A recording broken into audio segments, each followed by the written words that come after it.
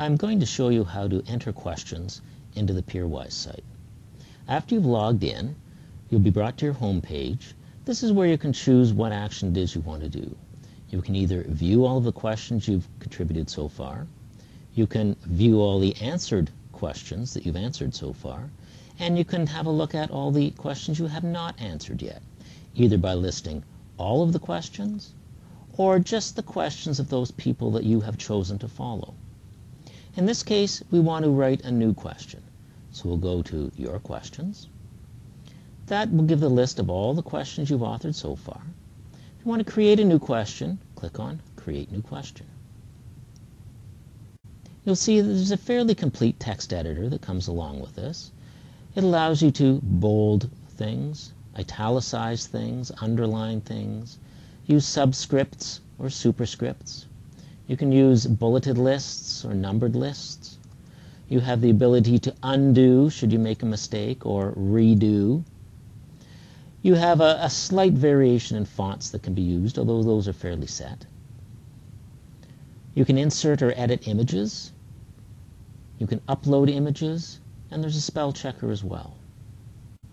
So this is where you'd write the stem of the question. This is the part of the question that precedes the answer options.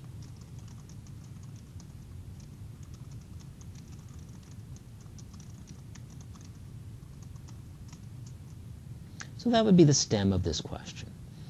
As you scroll down, this is now where you'd list the potential alternate answers.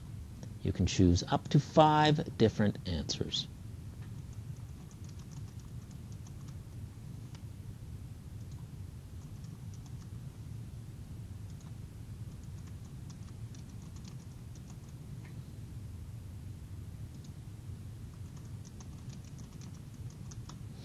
After you've entered, uh, entered all the possibilities, this is where you would select what is in fact the correct answer. Now, when writing the other alternatives, what are often called distractors, you want to use options that someone who does not have a good handle on the material may mistakenly choose. That is one of the things that indicates it's a good question. So you have the correct answer, you have some very good distractors. Scrolling down further now, this is where you would enter the explanation as to why your answer is in fact the correct one.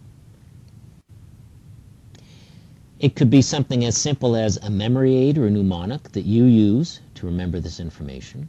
Or if it's a more involved, if it's a, a better, a higher level question, you may give the logic as to why your answer is correct and the other distractors, although some people may think are plausible, are in fact incorrect. After listing your explanation, scrolling down further, this is where you can choose a, a list of topics that apply to this particular question. This is where you can tag the question so people can easily find questions that are of the same type.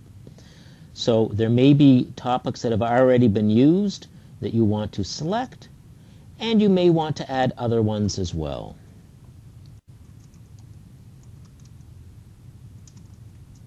If you add more than one tag, use a comma to separate it. After entering the possible tags for your question, scroll down to the bottom and you have two options. If you still want to keep working on this question, you're not ready to post it yet, then you can say save it as a draft. That way it'll still be here when you come back to edit it further. If you're happy with it though, click on preview so you can see what the question will look like once it is posted.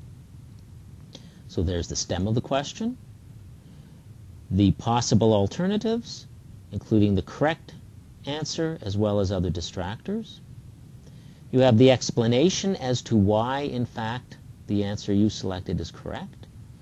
And you have the various tags that are associated with that question so that people can search for similar questions very easily. If you realize there's an error, if you want to uh, improve it a little bit, you can go back and make changes. Or you can say, no, this is good. Let's go ahead and post the question. Now you'll see that added to the list of questions you have. As people start to answer your questions, you'll see the number of answers. You'll see how often you, the answer you said was correct was in fact chosen. If this is a very low number compared to the number of answers, it may indicate that you have the wrong answer or it may indicate that this is something a lot of people are confused about.